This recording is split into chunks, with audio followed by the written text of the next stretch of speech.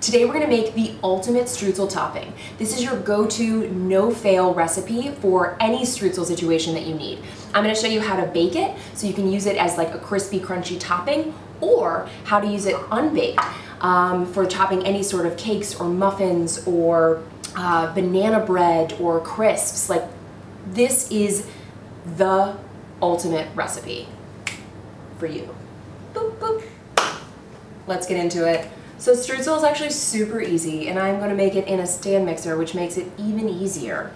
So we've got our bowl, uh, we've got AP flour here, pop that in, light brown sugar, boop, kosher salt, doo -doo, cinnamon, granulated sugar, and butter. Cubed, cold, I mean it's not really actually cubed, it's just cut up in chunks, but get it in there. And then we're gonna put that in our stand mixer. Okay, pop the paddle attachment in there, put it on low, and let her go. Yeah. We're just gonna let this cut in completely until it's super duper homogeneous. There's no butter chunks. It's just like a smooth dough. And it's gonna take a minute. So we'll check back.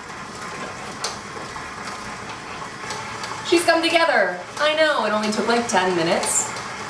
Yes, actually 10 minutes. Um, and it's done now. So now we have streusel. Let me show you what's in my bowl. What I've got is a nice, really soft, pliable dough um, that now can be used for literally anything, right? You can bake that, this like as it is, which is what we're gonna do right now, so I can show you a little something. All right, so we are gonna bake some. I'm gonna save some of this. The, also the amazing part about streusel is that this, you can put it in any container, sealed, in the refrigerator or freezer, and it will keep for months, yes months, months. And you can have streusel at your fingertips at any moment, which is, you know, pretty awesome in my opinion. Living a good life. So we're just gonna crumble a bit, big pieces, small pieces. I like to do a mixture of both. You know, I don't want a ton of streusel, like I'm not, you know, trying to make a sundae bar over here. I'm just trying to, you know, top a, a couple scoops, right? All right, anyway, so we've got ourselves streusel. You can bake it without chilling it, um, but it will spread a little bit more. So I'm gonna pop this in the refrigerator for probably about 10 minutes and then I'm gonna pop it in the oven, uh, 325, and it's gonna get nice and crispy and whew, yay.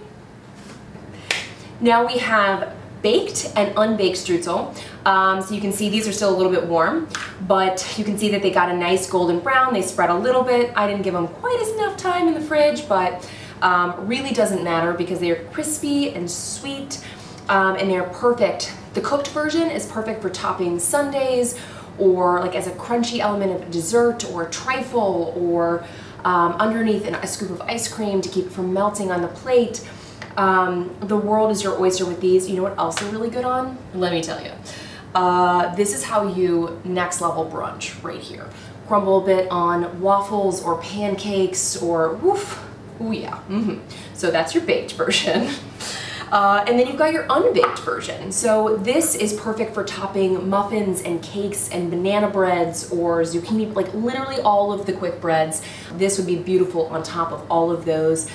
Also amazing on top of um, crisps of any variety or even topping cupcakes. So you can use the baked version or you can put it on top unbaked. And then as your cupcake rises you'll get these nice crispy crunchy tops on the on the top of your cupcake. Um, so really the world is your oyster here with this drizzle. You can use it in anything. Um, and I do. Fun fact. I'm gonna try it because you know, it's 9.30 in the morning. Oh, yes.